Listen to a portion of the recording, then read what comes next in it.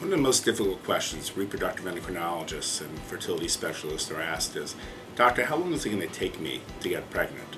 How many cycles of this treatment or that treatment do I have to do before I will have a pregnancy or before I'll have a child?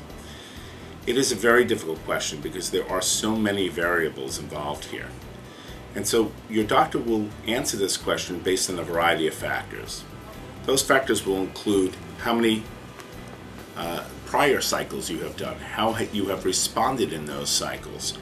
It depends on the age of the woman and the age of the man as well.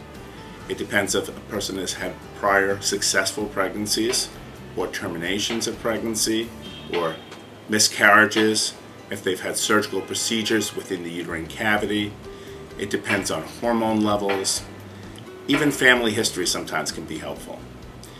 A history is performed where the doctor will ask you a bunch of questions, some which may not even seem pertinent to you at the time. We'll ask about toxic exposure like cigarette smoking or alcohol intake. We'll ask about your mother's pregnancy history and fertility history, or if anyone in your family had any problems conceiving or losing multiple pregnancies.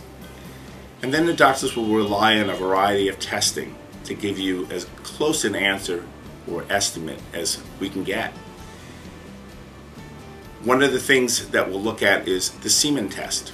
And we'll look at different parameters in the sperm test, including the movement of the sperm and the sperm concentration and the shape of the sperm. We'll do testing to determine if the fallopian tubes are open and clear. We'll look at hormone testing to get an idea of the quantity and quality of eggs that you have. If you've had prior fertility cycles, we look at those very carefully, particularly if they're done at other institutions where we may not be familiar with some of their standard practices it's very important that patients understand that with all the variables at stake, no physician can accurately determine how long it will take you to conceive. What we can do is give you some pretty well educated guesses about the types of treatment that you require and if it's likely that you will conceive in those and compare each of those treatments in terms of their efficacy and safety.